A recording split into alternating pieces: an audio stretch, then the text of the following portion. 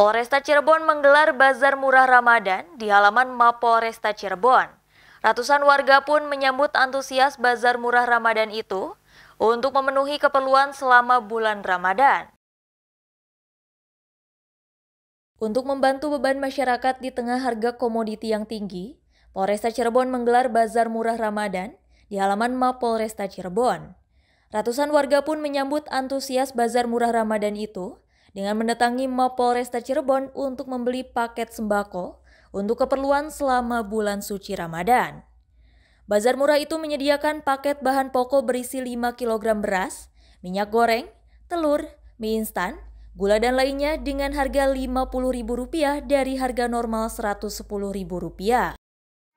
Kan kebutuhan apa lagi yang kira-kira mereka butuhkan untuk di Ramadan dan menjadi sayur mayur dan sebagainya. Nah, kegiatan ini kita lakukan dalam Bazar Murah Ramadan rencananya akan digelar kembali pada pekan nanti. Hal tersebut atas usulan masyarakat yang meminta penambahan komoditi seperti daging ayam, sayuran, daging sapi, dan lainnya. Dari Cirebon, Jawa Barat, tim liputan melaporkan. Seharga yang dijual itu 100